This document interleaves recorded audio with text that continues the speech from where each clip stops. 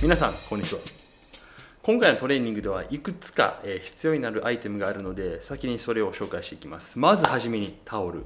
そして荷物を入れたカバン。もう一つ何か腰ぐらいの高さの台。これを用意してください、えー決して難しいものではありません。本当に家にあるもので、えー今回のトレーニングを行っていただけます。一つカバンを用意する際には、えー、とカバンに荷物を突っ込んでください。何でもいいです。ペットボトルとか何か重りになるようなものを入れて、まあ僕自身が用意していますこのね。これだとしたらちょっとここを持ってあのトレーニングを行います。なので何か小さめのカバンに荷物を詰めてやってください。重さに関してはこれを見ていただいてる肩のレベルによってだいぶ差があると思うのでお任せします。そしてタオルでは一応ねこういった感じで端と端をねこうやって持ってトレーニングを行っていきますのでというわけで早速トレーニングにやっていきましょう。Stop it.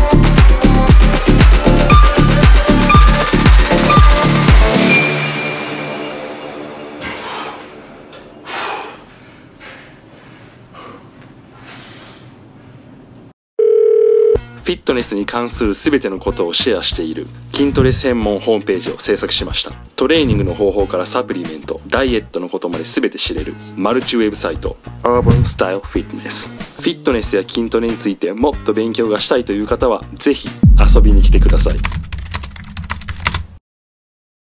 皆さんお疲れ様でした。今回のトレーニングはどうだったでしょうか？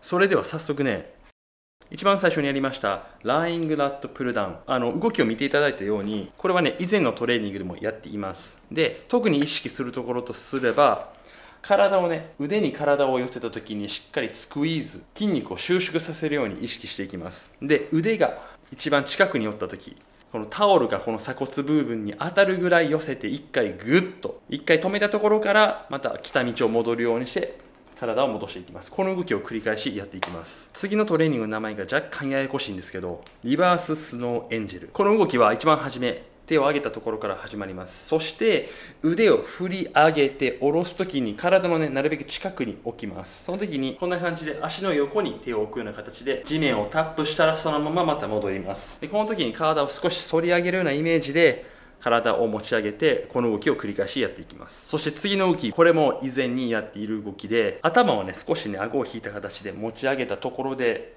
肘で押して体を上げます。リアデルトというね、肩の後ろ側にね、ある筋肉を鍛えることになります。で、これは反動を使わずに肘の押し上げる力だけで体を持ち上げる運動を繰り返し行っていきます。そして次に荷物を持った動きをやりましたね。これね。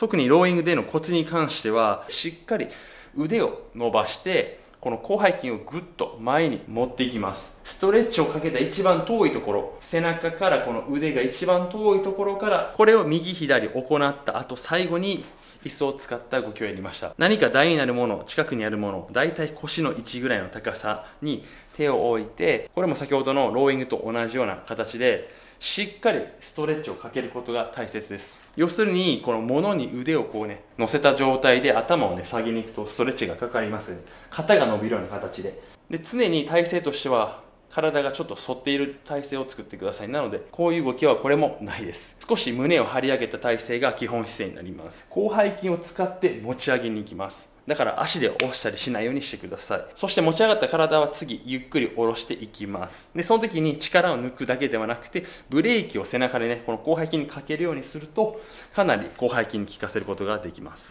以上ここまでが背中トレで意識する部分になります。そして皆さんよければ僕のウェブサイトをチェックしてください。このチャンネルではあんまり僕のウェブサイトを紹介したことがないのでよければねあのこれを機にチェックしてみてください。動画終わりに USF というあのウェブサイトがありました。あちらはトレーニング筋トレのためのウェブサイトになってます。僕が今紹介しているこのサイトとは全く違います。僕個人のあのサイトです。様々なあの僕のやっていることをここに載せているので興味のある方は良ければこちらもチェックしてみてください。それではまた次の動画で会いましょう。さよなら。